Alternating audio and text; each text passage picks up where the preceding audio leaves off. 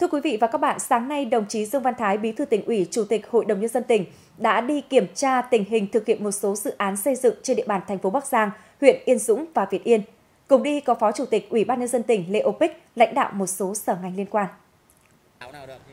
Tại thành phố Bắc Giang, đồng chí Dương Văn Thái, Bí thư tỉnh ủy, Chủ tịch Hội đồng nhân dân tỉnh đã đến kiểm tra tình hình thực hiện các dự án công trình đường Nguyễn Thị Minh Khai kéo dài, hệ thống tiêu thoát nước khu A, B thuộc khu đô thị phía Nam theo hình thức BT, dự án khu số 6, 7 thuộc khu đô thị phía Nam, dự án nâng cấp mở rộng đường gom bên trái tuyến quốc lộ 1 đoạn từ nút giao quốc lộ 31 đến nút giao Hùng Vương và cải tạo nút giao Hùng Vương.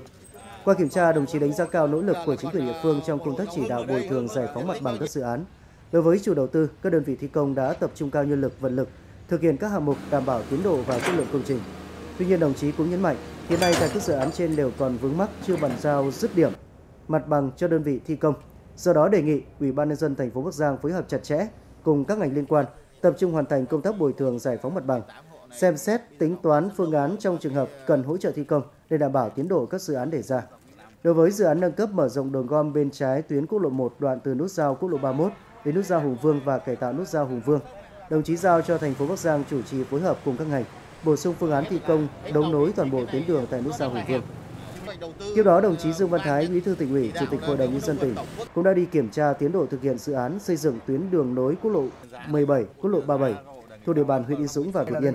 Dự án nâng cấp mở rộng đường gom bên phải tuyến cao tốc Hà Nội Bắc Giang, đoạn từ cầu vượt quốc lộ 37 đến quốc lộ 17, tỉnh Bắc Giang. Hiện tại dự án qua địa bàn huyện Yên Dũng đã cơ bản thi công nền đường, hệ thống thoát nước ngang, thoát nước dọc tuyến. Tuy nhiên tại lý trình K1 cộng 500 đang còn vướng mắc giải phóng mặt bằng 3 hộ có đất bị thu hồi. Ủy ban nhân dân huyện đang hoàn thiện các thủ tục quy trình tái định cư cho các hộ gia đình có đất bị thu hồi xây dựng tuyến đường. Đôn đốc các đơn vị thi công tìm các giải pháp, tập trung nhân lực vật lực thi công hoàn thiện đẩy nhanh tiến độ để sớm đưa dự án vào hoạt động. Đối với huyện Việt Yên, nhà thầu thi công dự kiến hoàn thành xong phần thảm asphalt mặt đường trong tháng 1 năm 2021. Tại dự án này, đồng chí đề nghị các đơn vị liên quan đẩy nhanh công tác bồi thường giải phóng mặt bằng, sớm bàn giao mặt bằng cho đơn vị thi công, đảm bảo hoàn thành xong trước Tết Nguyên đán. Đưa vào khai thác nhằm giảm tải giao thông. Ủy ban nhân dân huyện Việt Yên triển khai phương án bồi thường giải phóng mặt bằng đối với các đơn vị liên quan để bàn giao mặt bằng thi công nhánh 2, 6 xong trước ngày 17 tháng 1 năm 2021.